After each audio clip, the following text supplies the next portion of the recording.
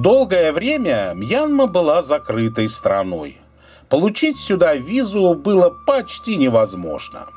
Хунты, военные перевороты, сепаратизм – все это заставило страну отгородиться высокой стеной. Последний раз Мьянму затрясло в 2017 году, когда она снова напомнила о себе геноцидом народности Рохинджа. Что на самом деле произошло и как живут армяне за стеной, расскажу прямо сейчас.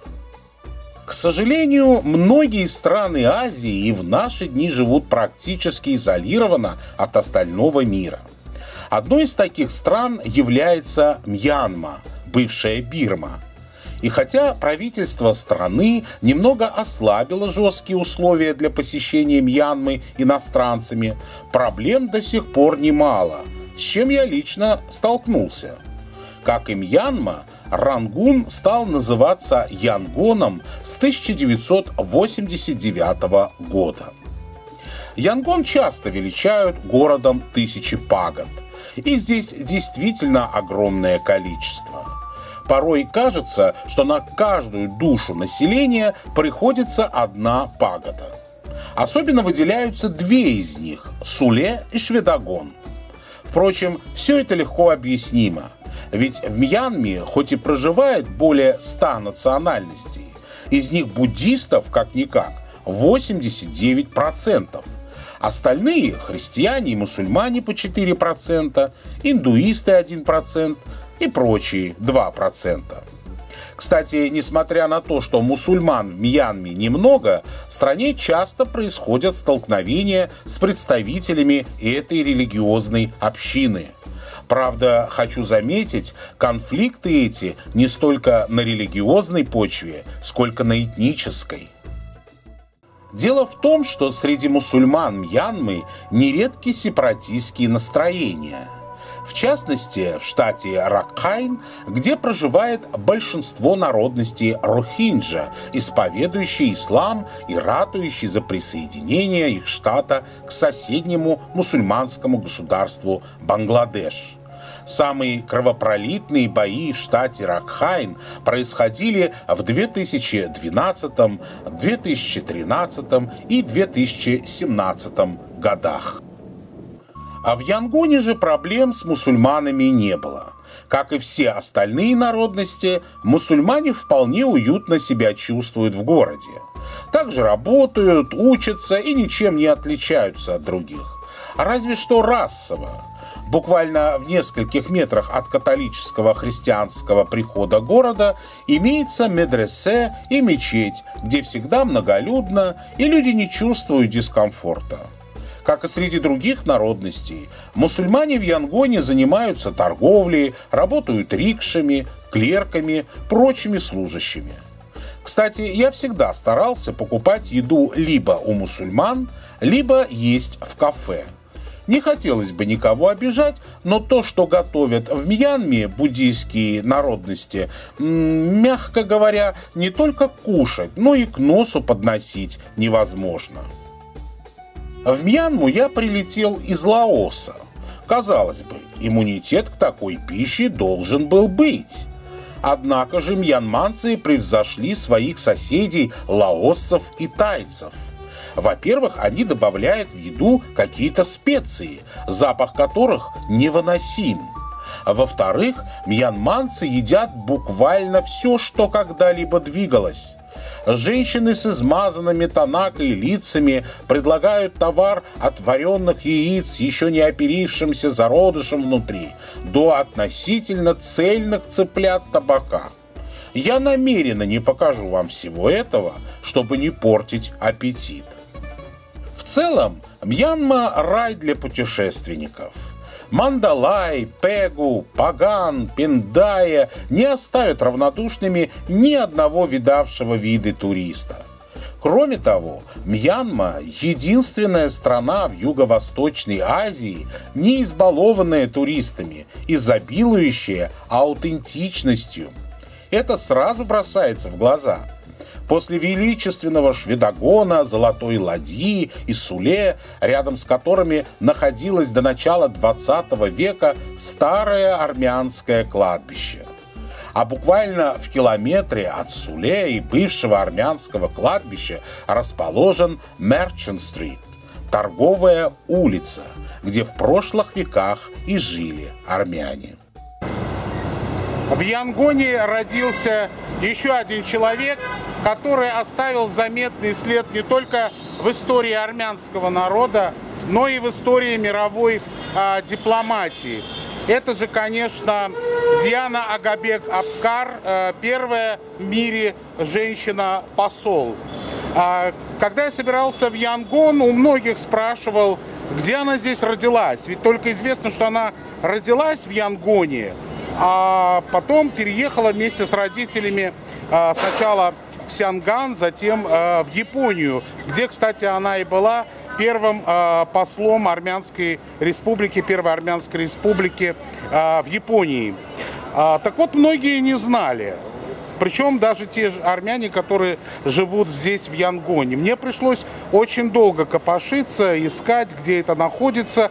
А оказалось, здесь, совсем рядом, а, я нашел в справочниках э, в самом Янгоне а, этот дом. Э, находится он, конечно же, на Мерчант-стрит. А, конечно же, где еще может находиться этот дом, ведь Мерчант-стрит как раз-таки и был населен в основном армянами этого города, поэтому он и Мерчант-стрит, то есть улица коммерсантов. А, сейчас я вам покажу этот дом, дом в викторианском стиле. А, это сейчас не жилой дом, хотя он остался после наверное, евроремонта, если так можно сказать, а, в хорошем состоянии, но там сейчас находится отель. Собственно говоря, я там и остановился. Вот оно, желтое здание, в котором родилась в 1859 году Диана Агабикян, судьба которой уготовила стать первой женщиной-послом. Здание хорошо сохранилось благодаря реставрации и отделке можем заглянуть и вовнутрь. Сразу за дверью старая деревянная, но хорошо сохранившаяся лестница, которая ведет гостей на второй этаж. За ней еще одна лестница, а на ступеньках обувь гостей гостиницы. Преодолев ступени, оказываемся в холле и ресепшне. Возможно, когда здесь жила семья Агабекян, этот холл служил гостиной.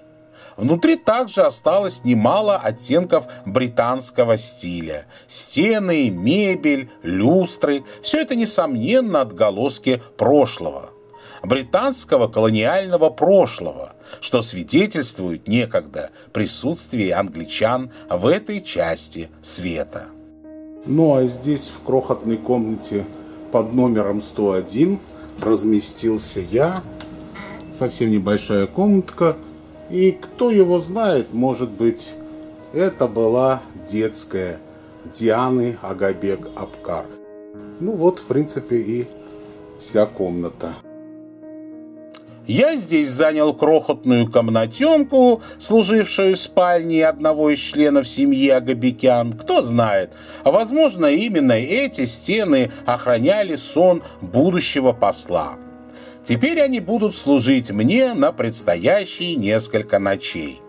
Комната хоть и маленькая, но вполне располагающая к отдыху. К тому же единственное окно выходит на Мерчант-стрит. Семья Агабекян была немаленькой и состояла из девяти человек, Аванес с супругой Авет и семеро детей. Глава семейства занимался международной торговлей и всем своим детям дал прекрасное образование.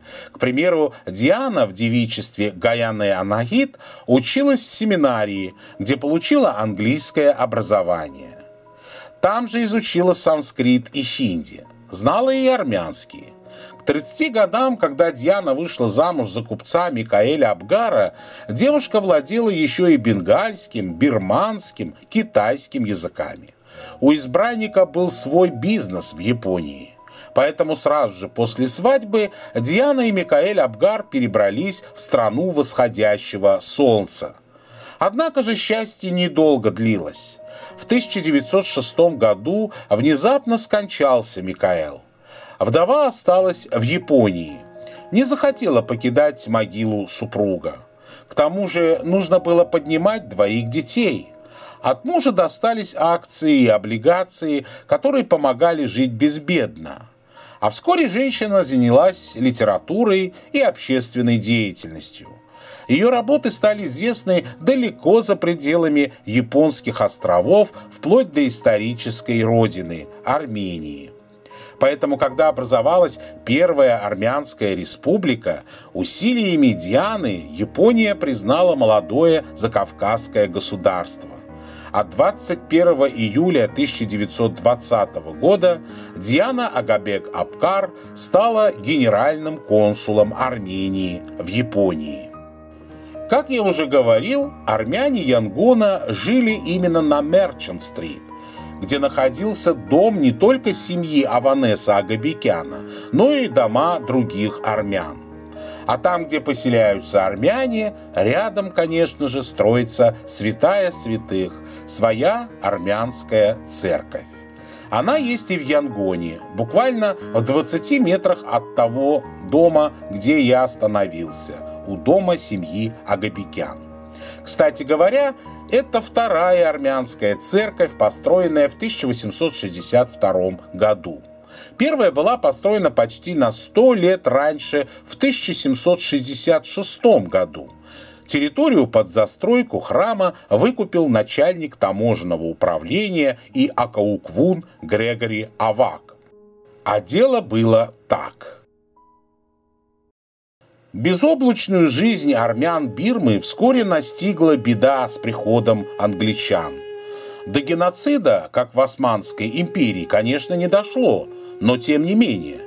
При короле Миндоне в середине XIX века, когда британцы захватили юг Бирмы, англичане устроили массовые аресты армян, имеющих отношение к таможне и финансам британцы стали подозревать армян в шпионаже в пользу России.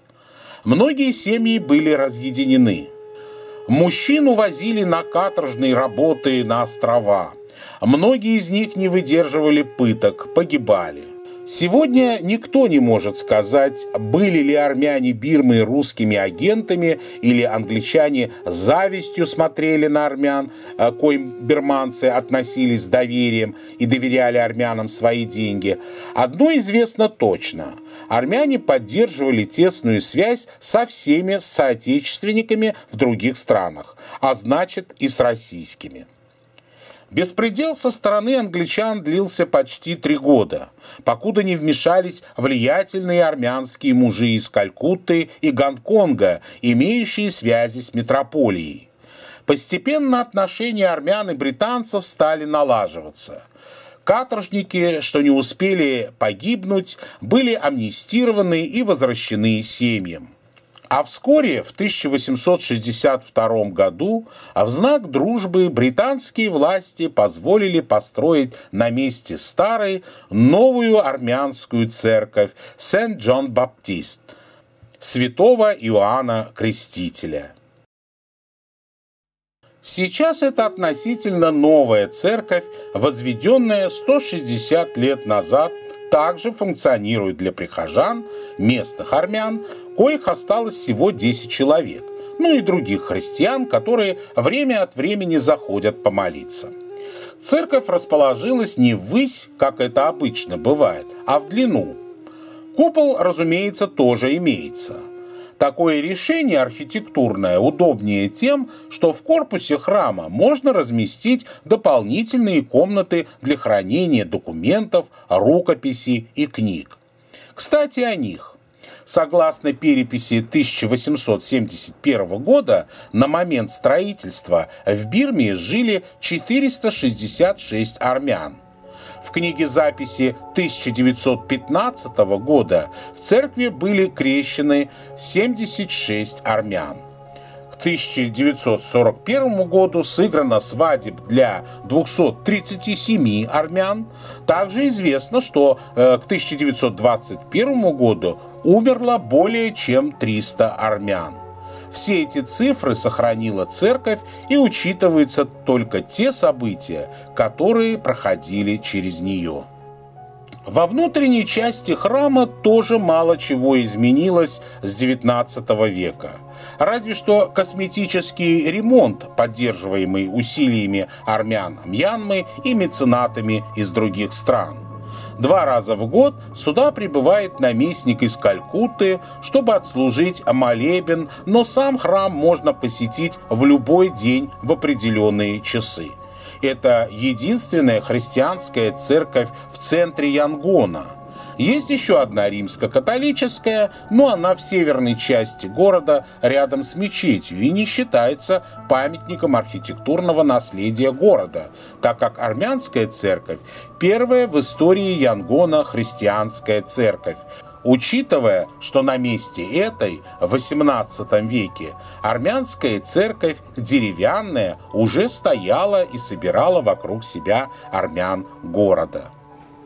Что касается мьянманских армян, то они расово отличаются от тех, э, которых мы привыкли видеть, классических, скажем так, по той причине, что в них намешаны и мьянманские корни но они считают себя армянами и исповедуют армянское христианство. Один из них – Винсент Геворг Минас или Майнес, как принято в английской транскрипции, внук Георга Минаса, архитектора. Меня зовут Винсент Минас. Мои предки тоже из Минасов. Живу я в Янгоне, в одном из живописных лесопарковых зон города. Часто прихожу сюда, в нашу армянскую церковь. Моего деда звали Георгом Минасом. Отец был инженером, его звали Ховен Минас. Он был армянином, но моя мама смешанная, наполовину армянка, наполовину берманка. Я бы хотел передать привет всем братьям-армянам во всем мире и добро пожаловать к нам в Янгон. Так что приезжайте. Гостеприимные берманские армяне будут вам только рады и с удовольствием поделятся историями своих семей. В километре от церкви моего посольского жилья был еще один объект, связанный с армянами, куда я отправился уже утром следующего дня – на четырехкилометровый Стрэнд-Роуд, проходящий вдоль реки Янгон, высится викторианская гордость столицы – пятизвездочный Стрэнд-Отель, построенный в 1901 году известными армянскими олигархами, владельцами сети отелей Юго-Восточной Азии, братьями Саркис вместе с Raffles в Сингапуре и E&O на Пенанге, о котором я говорил в одном из своих предыдущих фильмах, Странд-отель в Янгоне всегда считался одним из э, престижных Юго-Восточной Азии. Здесь всегда собирались только белые, конкретнее европейцы. Он был построен 1901 году братьями Саркис, а в 1925 году продан Арутюну Беглару, другому армянину. Правда, у другого армянина этот отель э, ненадолго задержался, он перепродал уже англичанам, которые содержали этот отель до начала Второй мировой войны, ибо уже с 1941 года в отеле размещалась группа войск милитаристской Японии. И с 60-х годов отель перешел в собственность а, муниципалитета Янгона, правительства Мьянмы. В разное время в отеле останавливались такие знаменитые личности, как Редьярд Киплинг, Сомерсет, Моем и даже принц Уэльский. Как и остальные саркисовские собратья, отельные в других странах Юго-Восточной Азии, Стрэнд-отель до сих пор остается один из самых дорогих в Мьянме. Сутки пребывания в этом пятизвездочном отеле в самом дешевом номере обойдутся в 250 долларов. По мьянмарским меркам это огромные деньги. Люкс около 1000 долларов. Кстати, его саркисовский собрат на Пенанге, где я останавливался, был в разы дороже. но то в Малайзии, а в Мьянме и жизнь дешевле. И еще, в отличие от саркисовских отелей в Сингапуре и Пенанге, в Странд-отеле нет музея братьев Саркис. И если бы не ресторан Саркис, то память о братьях осталась бы только в книжках. Как и полагается саркисовским отелем, изюминкой которых всегда был берег с портовыми сооружениями через дорогу прямо напротив Странд-отель, находится тот самый порт, куда прибывали торговые суда из заморских стран и континентов через Индийский океан. В порту служили армянские таможенники, встречая иностранцев и своих соплеменников с товарами – Правда, сейчас порт не такой оживленный, как прежде. Теперь он служит переправой на другой берег реки Янгон.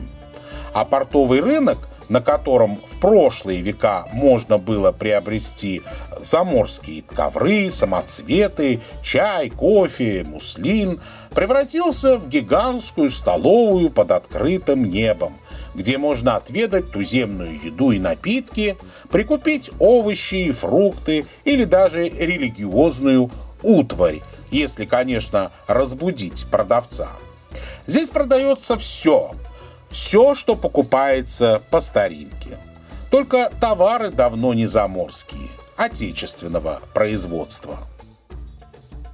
Итак, армянская община Мьянмы переживает нынче свой исход, и, к счастью, мне еще удалось застать некоторых из коренных армянских жителей. Сложно сказать, что будет лет эдак через 50, но есть и те, что прибыли сюда в последние годы. Возможно, они и реанимируют общину.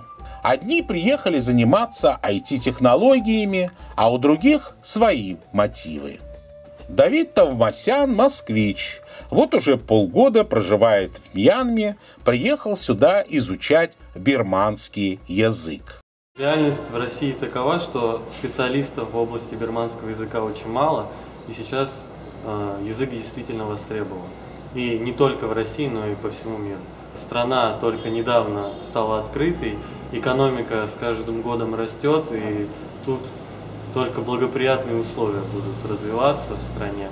Поэтому я думаю, что еще вы услышите о том, что нужны будут специалисты в области берманского языка. В первую очередь сейчас задача учить язык, а, как бы выжить по максимуму из моей поездки, а дальше уже через полгода я буду смотреть, может быть оставаться здесь, будут какие-то варианты по продолжению изучения языка или работы, либо, да, возвращаться в Россию. Ну, страна довольно интересная, а, особенно на контрасте с Россией и Москвой, все другое, другая культура, улицы, люди, менталитет, поэтому интересно, в общем. В России действительно почти нет специалистов по берманскому языку.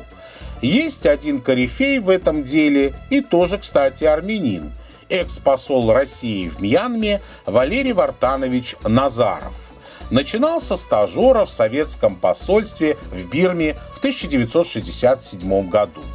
Дослужился до чрезвычайного и полномочного посла Российской Федерации в Мьянме до 1997 года. 30 лет на дипломатической службе в Мьянме. За эти годы я освоил редкий бирманский язык. Возможно, и у Давида жизнь будет связана с Мьянмой – ведь российско-мьянманские отношения снова набирают обороты. В 2016 году между военными ведомствами России и Мьянмы подписаны соглашения о сотрудничестве. Военные двух стран обмениваются делегациями, решаются вопросы противодействия террористическим угрозам, в Мьянму поставляется российская военная техника, упрощен порядок захода военных кораблей в порты России и Мьянмы. Учитывая все эти обстоятельства, перспективы у Давида могут быть вполне впечатляющими. Причем как в России с бирманским языком, так и в Мьянме с русским языком. А значит, армянская агентура на русскую разведку продолжится – Шутка. Хотя, поживем увидим.